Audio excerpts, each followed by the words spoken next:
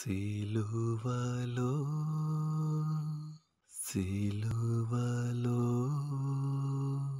సిలువలో నా ప్రభువా. క్రీస్తునందు ప్రియమైన సహోదరి సహోదరులారా యేసు క్రీస్తునామములో మీ అందరికీ శుభములు. తపస్కాలము మొదటి మంగళవారము. ఈనాటి పూజా పఠనాలు ప్రార్థన యొక్క ప్రత్యేకతను మనకు తెలియజేస్తున్నాయి. ప్రార్థన అనేది దేవునితో మనకు ఉన్నటువంటి సంబంధాన్ని తెలిపేదిగా ఉండాలి.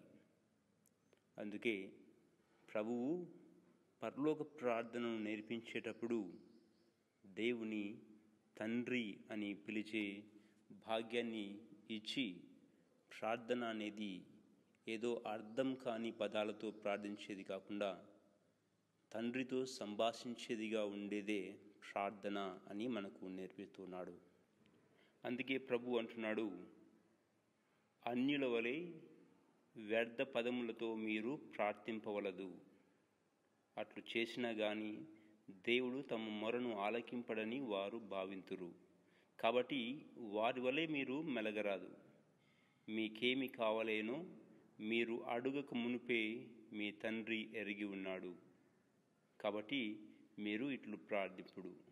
పరలోకమందున్న మా తండ్రి నీ నామము పవిత్రపరచబడునుగాక దేవుడు మూగవారికి మాట్లాడే శక్తిని చెవిటి వారికి వినే శక్తిని ప్రసాదించినటువంటి దేవుడు మన యొక్క అంతరంగంలో ఉన్నటువంటి బాధలను కోరికలను సమస్యలను తెలుసుకున్నటువంటి దేవుడు. కాబట్టి అటువంటి దేవుని దగ్గరికి మనము ప్రార్థనలో కలిసినప్పుడు మన యొక్క ప్రార్థనా జీవితం ఏ విధంగా ఉంది? ఏదో కొన్ని ప్రార్థనలు చెప్పాలి కాబట్టి చెబుతున్నామా లేక మనం తండ్రితో మాట్లాడుతున్నట్లు మాట్లాడుతున్నామా?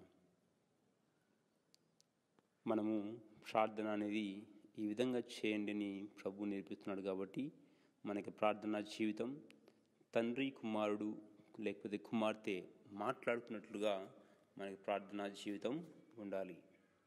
ఆమెన్.